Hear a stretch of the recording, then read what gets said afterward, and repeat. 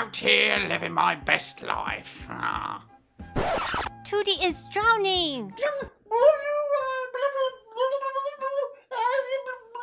Shh! This ain't about him. It's about me.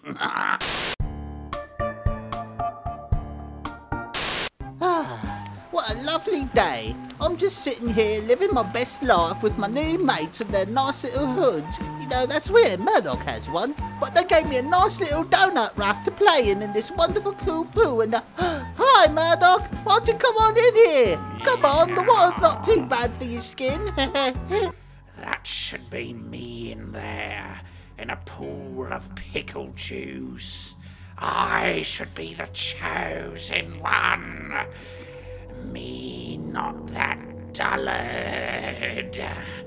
How do I get friend zoned by my own people?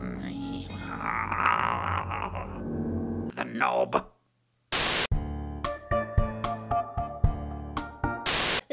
so, so Russ is gone and I found this in his room. Wait, you can talk?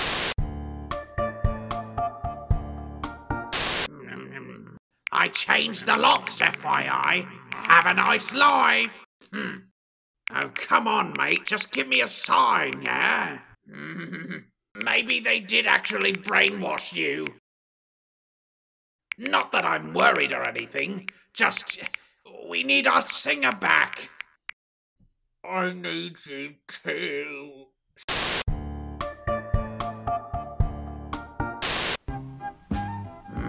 Try building it on land next time, you stupid Italians.